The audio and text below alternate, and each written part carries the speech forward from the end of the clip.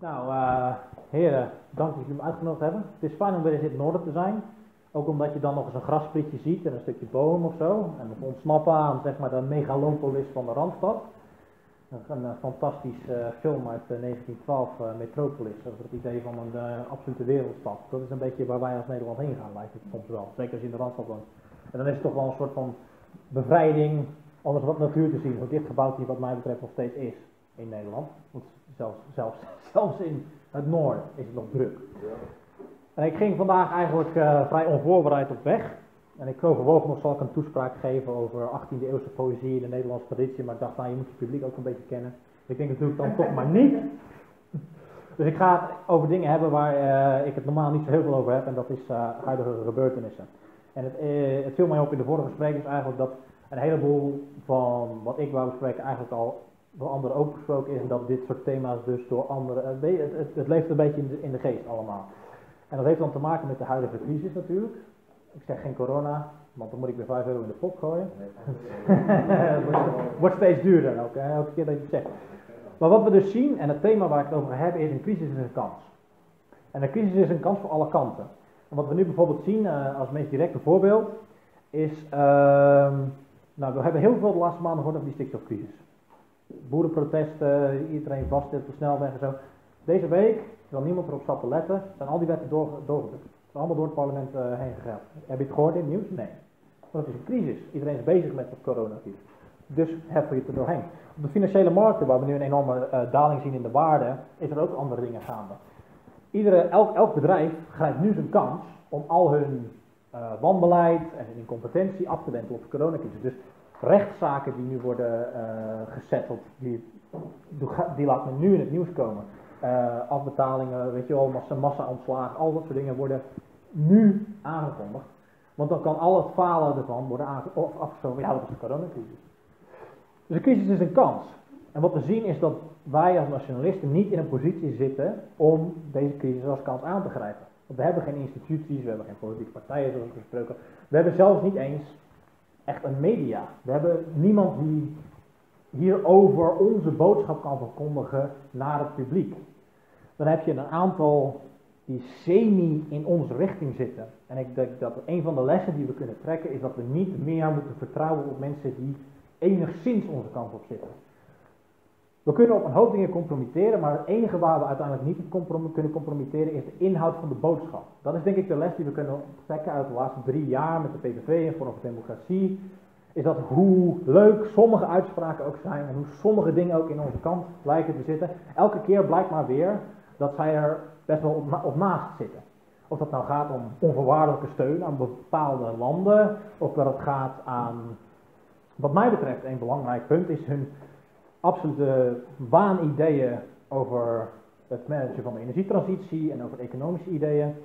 Om het als voorbeeld te geven, ze hebben het nu over bailouts en dergelijke. Natuurlijk moet je de, het MKB en de ZZP'ers en arbeiders van een land helpen, want dat is uiteindelijk waar een land op draait. Dat is uiteindelijk de echte waarde.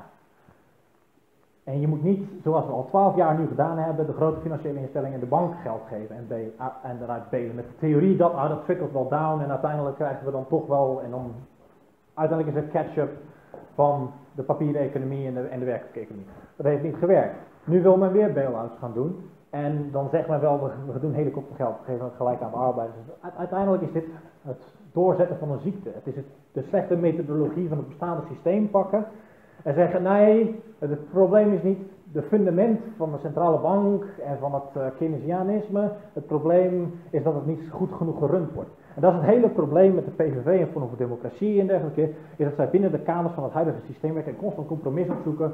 En hetzelfde bijvoorbeeld met die uh, energietransitie-ideeën, dat, uh, dat, dat geklaag, dat en zo. Terwijl als je kijkt naar de fundamentele systeemanalyse, zowel geopolitiek als in eigen belang, is dat wij als energieonafhankelijke macht, dat is een streven dat waardig is. We moeten niet afhankelijk zijn van olie uit het Midden-Oosten, we moeten niet afhankelijk zijn van Amerikaanse olie of van Amerikaanse banken wat dat betreft. Maar in al die zin is een energietransitie dus ook een goed ding. Voor milieu, want wij zijn uiteindelijk altijd, als je een nationalist bent, dan moet je een milieuactivist zijn. Dan moet je staan voor het houden van je heimat. Toch? Laten we zeker zijn. Dus in al die dingen is, is wat mij betreft getoond dat wij kunnen niet proberen samen te werken met hen die het net niet zijn. Want elke keer is het inderdaad weer net niet. Dus moet de boodschap vanuit onszelf komen. Moet het uit onze beweging komen. En daarin zijn we het allemaal over eens en het is al meerdere door andere mensen besproken. Wij falen best wel in onze boodschap verkondigen, in ons organiseren, in enige rol spelen in het publiek debat. En daarin speelt de rol van de angst, zoals aangekondigd is, omdat mensen er niet voor door te staan. En als je geen gezicht hebt en geen persoonlijkheid hebt, is er geen aantrekking naar een beweging. Je moet, men, men moet weten dat je er bent en men moet weten wie je bent. Dat zijn belangrijke dingen. Dat is waarom ik dus bijvoorbeeld bezig ga met allemaal YouTube filmpjes maken en podcasts maken en zo. Omdat ik denk, als je een identificeerbaar gezicht hebt, heeft dat aantrekkingskracht aan zich. En dat verspreidt de boodschap. En daarom neem ik dus dit ook op en verspreid ik het ook al online. Nou, zeg maar. Er is geen politische groep die, uh, die meer tegengewerkt wordt dan wij Nee, dat is zo. Dat is zo. Goed, dat, dat, dat, weten we. Dat is een gegeven feit. Tuurlijk. Ik, ik, hè? Voor mij is dat geen probleem, maar dat is natuurlijk wel... Uh, nee, ja. Het is niet meer. Nee, tuurlijk, tuurlijk. Maar goed, er zijn, je moet altijd een risicoanalyse maken voor jezelf, voor hoe ver je je inzet voor dingen. Maar laten we eerlijk zijn, er is ook een minimale inzet van geef af en toe wat geld aan een organisatie, wees eens een keer aanwezig, draag iets bij in wat, wat je kan, of dat nou iets tekenen is, of video editen, of, of ideeën verkondigen, of een artikel schrijven, of flyeren voor een partij die enigszins onze kant op staat, dat soort zaken. Nou wil ik niet hier pleiten voor oprichten van een politieke partij, want ik geloof eigenlijk niet dat we in een stadium zijn waar dat, te winnen is. Uh, en de fase van PVV en Forum die kunnen nog wel wat aan de weg smeden in een positievere richting zonder dat wij daar ons mee bezig moeten houden. Wat wij vooral moeten doen is een soort biosfeer creëren aan uh, intellectuele boodschap. En dan, dan wil uh, intellectueel niet per se in de zin van elitair.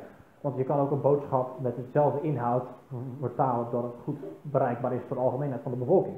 Nou is dat niet, iedereen heeft zo zijn eigen manier van communicatie, eigen manier van, eh, sommigen maken het in de vorm van muziek, sommigen maken het in de vorm van een filmpje of een podcast of een boek.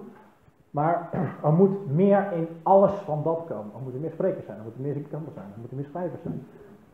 De eerste stap naar iets meer dan wat er nu is, is die creatie van een ideologische, intellectuele biosfeer die mensen aanspreekt. En daarin moeten wij ons niet laten compromitteren in de boodschap. De boodschap is het belangrijkste. De boodschap moet de kern zijn.